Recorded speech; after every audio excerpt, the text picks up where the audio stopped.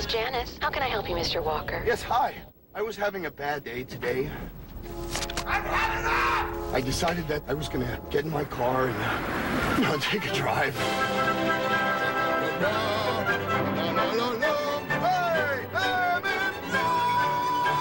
Anyway, I took a wrong turn. Relax. We'll get you home. Impala LS with 200 horsepower and, fortunately, OnStar.